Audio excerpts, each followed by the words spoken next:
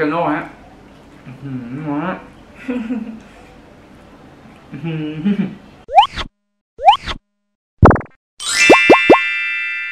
สวัสดีครับทุกคนผมบาส BBmemory นะครับผมขอต้อนรับเข้าสู่ในช่วงอยากกินอะไรต้องได้กินนะครับผมวันนี้มีแต่ชีสนะครับผมชีสทั้งนั้น วันนี้เรามากินพิซซ่าขอบชีสเอ็กซ์ต้าชีสหน้าชีสไม่ได้แค่นี้นะครับ เราจะมาทำชีสฟองดูด้วย กินชีสแล้วต้องจิ้มกับชีสฟองดูด้วยโอ้โหชีสทั้งนั้นเลยวันนี้ แล้วมากินคู่กับไก่ทอดสามประสาทฮะวันนี้เรามีเชฟด้วย เดี๋ยวให้เชฟมาทำแล้วกันนะ เดี๋ยว ยังไม่ได้พูดเลย โอ้โหนี่ครับเชฟฮะขอต้อนรับเชฟนะครับ ชื่อว่าพาราเมียนะฮะ จะอันนี้จะมาทำอะไร ชีสฟองดู อะจะไปทำชีสฟองดูเดี๋ยว เริ่มจากใช้นมสดอันนี้นะ ใครที่จะไปทำตามทำได้เลยนะ นมสดฟองดูนะครับ นี่ทำอย่างนี้ เทนมลงไป แล้วแต่ม้าเลย อะไรนะคะ อะไรคะ ใช้ชีสอันนี้นะครับผม เพื่อจะมาทำชีสฟองดูนะครับ แค่นี้เหรอ เอาแค่นี้เหรอ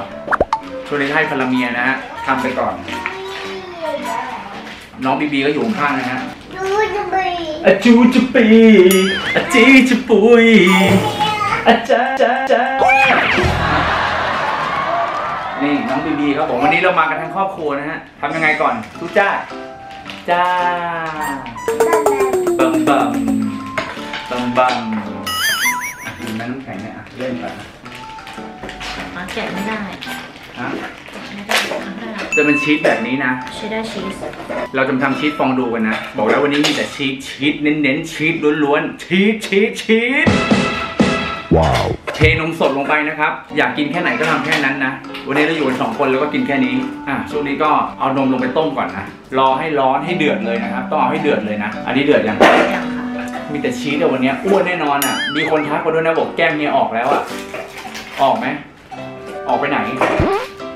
มาไม่ไหวแล้วว่าหิวแป๊บนึงอยากกินมากเลย นี่ควันขึ้นแล้วเห็นไหม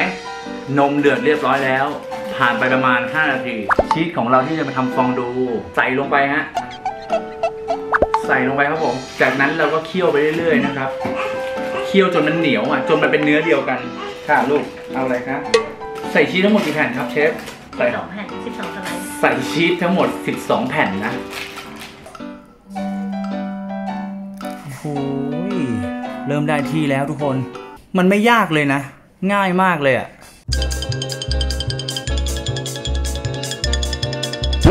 ยอดกลิ่นหอมมากเลยชีสฟองดูของเรา เอาอีกก้อนหนึ่งไหมคะ ไม่ต้องแล้วค่ะทำง่ายมากครับผม แค่มีนมสดกับชีสนะฮะ ตอนนี้กลิ่นในห้องเนี่ยตลบอบอวนไปด้วยชีส ตอนนี้ได้ที่แล้วเรียบร้อยชีสฟองดูของเรานะครับ เป็นยังไงนี่ ขอชิมก่อนนะ ชิมชีสก่อน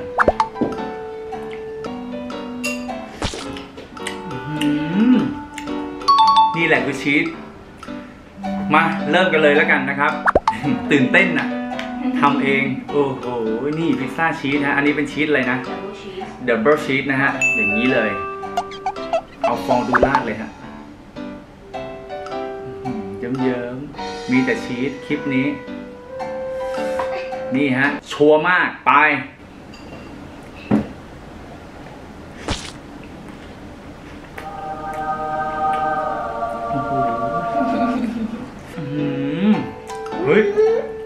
ำกันดูนี่เยิ้มๆเนี่ยนี่คือชีสแบบสุดยอดของชีสแล้วนะ ไปครับอืมอันนี้เป็นซอสเทาซ่าไทยแลนด์นะฮะ ลองดู สุดๆ ของสุดๆอืมให้เชฟลองชิมดู ดึงมาเลยฮะ เป็นไง รสชาติแบบว่ากลมกล่อมมากแบบชีสแบบหอมละมุนหอมอยู่ในปากแบบ จุ่มลงไปเลยก็ได้ฮะเฮียว่าจุ่มเลยดีกว่าไปครับ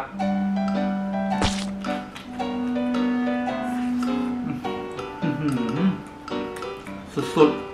ๆนี่ชีสอย่างเดียวอ้วนแน่นอนมันเนี้ยราดออริกาโน่หน่อย ริกาโน่ฮะอื้อหือมาหืออร่อยไหมที่สุดอะยอดมากเลยอะ คิดได้ยังไงวะเนี่ยจุ่มชีสครับผม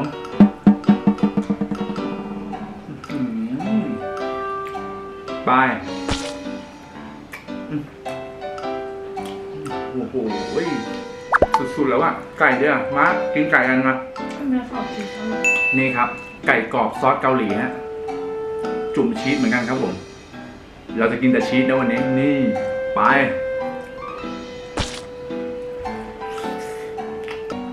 อืมว่าอร่อยที่ชีสแล้วแหละ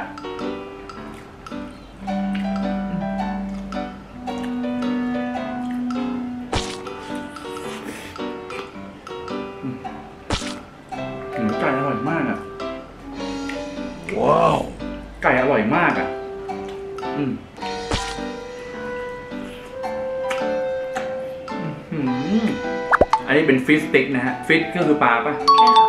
เป็นปลาทอดกรอบนะครับ อันนี้ ทุกอย่างเราต้องจุ่มชีสฮะชัวร์มากไปโอ้โหสุดๆจริงๆขออันนี้เลยได้ไหมไปฮะอื้อหือชีสเป็นชีส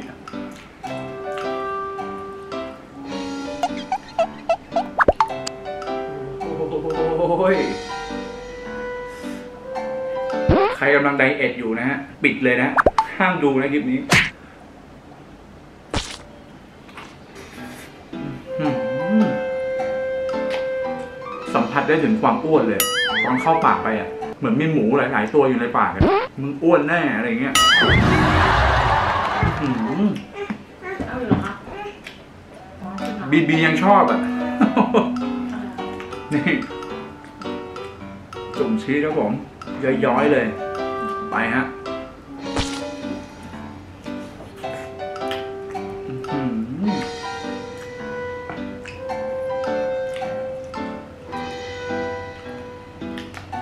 เมนูนี้เด็ดผ่านมาก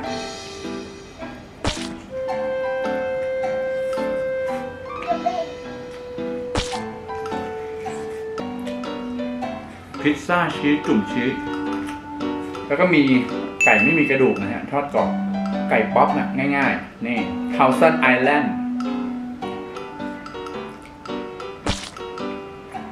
อืมอืมอืม อืมเฮียว่านะความอร่อยอยู่ตรงเนี้ย เนี่ย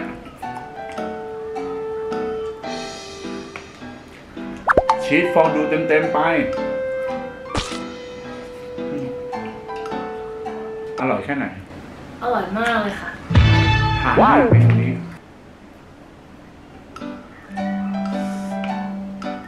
เต็มปากเต็มคำนะไปอืมอืมอืมอ้วนแน่นอนอะแต่แล้วก็จะกินนะ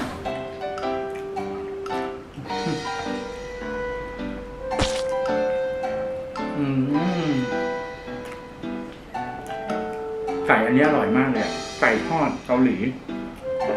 อืม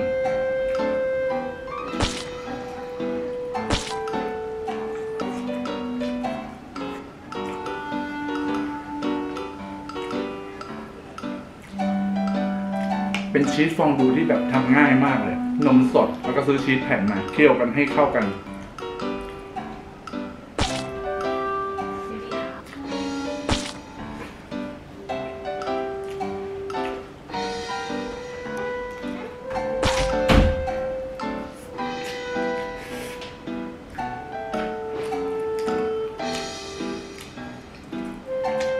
ตาระอร่อย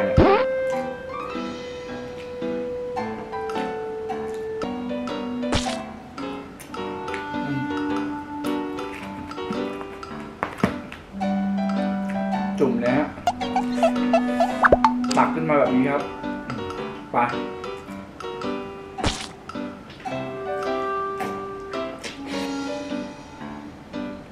อซอสมะเขือนิดนึง กินไม่ถูกนะเนี่ยคือมันนัวมากเลยนัวแบบกลิ่นชีสกลิ่นพิซซ่ากลิ่นซอสอะไรอย่างเงี้ยโอ้โหออริกาโน่โรยหน่อยฮะเสร็จแล้วก็ตักชีสขึ้นมาครับราดลงไปราดลงไป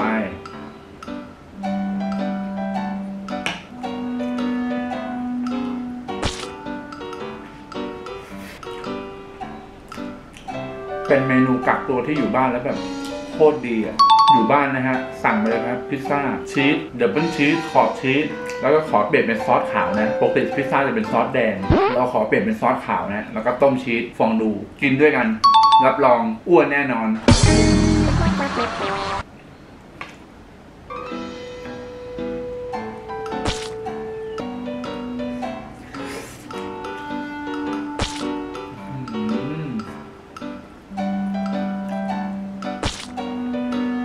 เพื่อนๆคนไหนอยากให้เฮียกินอะไรนะ ก็ยังไงก็ลองคอมเมนต์มาดูนะครับ หมดไปแล้วถาดหนึ่ง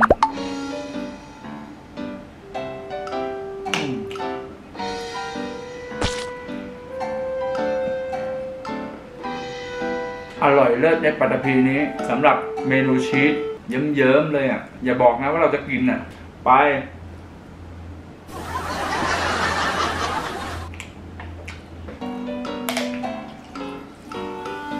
เรามากินกับมิลินดาบ้างน้ำแดงครับผมโอ้ยอีกถาดหนึ่งจะเก็บไว้ให้ที่บ้านกินนะ ให้เขาลองชิมดูอร่อยไหม